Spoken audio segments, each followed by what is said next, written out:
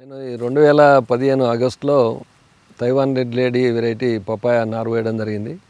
దాన్ని ఒక నలభై రెండవ రోజు నాడు మొక్కలు నాటుకున్నాము. ఎకరంన్నరలో మేము ఈ మొక్కలు నాటడం జరిగింది.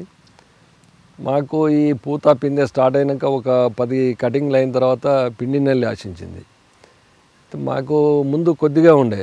అది బ్రహ్మాస్త్రం నీమాస్త్రం వీటితో కంట్రోల్ అవుతుందని అనుకున్నాం కానీ అది చూస్తూ చూస్తూ ఉండగానే తోట మొత్తం స్ప్రెడ్ అయిపోయింది. దాంతో కాయ అది మెయిన్గా చేసే కారణం ఏంటంటే కాయను పట్టుకొని పూత పిందె పట్టుకొని రసం పీలుస్తుంది. కాయ చూడడానికి పైన బాగానే ఉంటుంది. ఆ కాయలు దింపిన తర్వాత ఎక్కడెక్కడైతే పురుగు ఉంటుందో ఆ ప్రాంతం వల్ల పసుపు పచ్చగా చుక్కలు చుక్కలుగా మారిపోతుంది. కాయ కోసిన తర్వాత కాయ లోపల తెలుపు రంగు ఉంటుంది. తర్వాత కాయ అసలు టేస్ట్ ఉండదు కాబట్టి ట్రేడర్స్ ఎవరు కూడా తీసుకోలేదు. దాదాపు ఒక మూడు లక్షల రూపాయల విలువ వేసే కాయ తెంపి పారవేయడం జరిగింది. దీని తర్వాత మళ్ళీ తామర పురుగు వచ్చింది. మనకు బత్తాయిలో మంగు అంటాం. అది నల్ల మంగు తర్వాత రాతి మంగు అంటాం. అదే మాదిరిగా ఈ బొప్పాయి కాయలపైన నల్ల మంగు రాతి మంగు రావడం జరిగింది. ఇది మెయిన్గా ఈ తామర పురుగు ఏంటంటే కాయ పైన గోకుతుంది. గోకి రసం పిలవడం జరుగుతుంది. దాంతో కాయ షేప్ అంతా మారిపోతుంది. కాయ లోపల మనకు టేస్ట్ బాగానే ఉంటుంది అంత బాగానే ఉంటుంది. కానీ పైన చూడడానికి బాగుండదు కాబట్టి ట్రేడర్స్ ఎవరు దీన్ని తీసుకోరు. ఆ విధంగా కూడా బాగా నష్టం జరిగింది.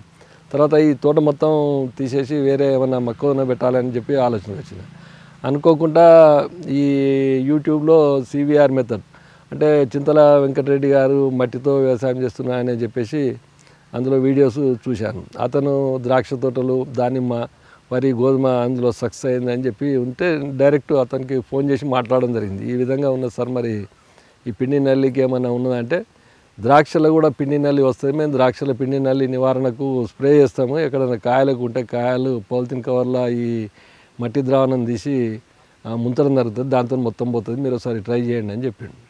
అయితే ఈ మట్టి మెథడ్ అంటే సివిఆర్ మెథడ్ పద్ధతి సింపుల్ మెథడ్ అండి. మనం వ్యవసాయ భూమి మనం ఏ భూమి అయితే వ్యవసాయం చేస్తామో మనం ఖాళీగా ఉన్న భూమిలోకి వెళ్ళి ఎటు ఒక ఆరు ఫీట్ల ఎటు అంటే ఎటు ఆరు ఫీట్ల చొప్పున తీయాలి. Top soil sub soil. Top soil అంటే దాదాపు రెండు ఫీట్ల వరకు ఉండే భూమిని టాప్ సాయిల్ అంటారు. తర్వాత రెండు ఫీట్ల తర్వాత నుంచి తీసే మట్టిని సబ్ సాయిల్ అంటారు. ఈ టాప్ సాయిల్ ఏంటంటే ఇందులో ఈ నత్రజని భాస్వరం పొటాషు నిక్షిప్తమై ఉంటుంది. ఇది అందులో స్థిరీకరించి ఉంటుంది కాబట్టి ఈ టాప్ సాయిల్ వాడినప్పుడు అది ఏ పంట కానీ తొందరగా పెరిగే అవకాశం ఉంటుంది. ఈ సబ్సాయిల్ అనే దానిలో మైక్రో న్యూట్రిషన్స్ ఉంటాయి. మనం మైక్రో న్యూట్రిషన్స్ బయట తీసుకొచ్చి వాడుతున్నాం. దాని బదులుగా ఈ సబ్ సాయిల్ కనుక వాడితే అది మైక్రో న్యూట్రిషన్ లాగా పనిచేస్తుంది.